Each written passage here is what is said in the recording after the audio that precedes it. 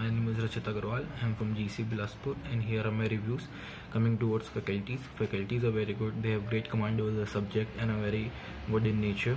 They help us in every way possible and they're always available to help us.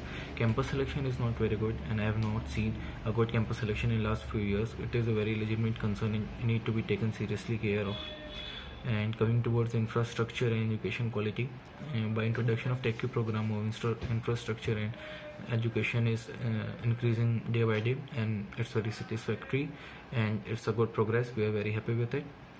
And coming towards culture and recreational we don't have good culture and recreational reforms and it's a great concern and it's need to be taken care of.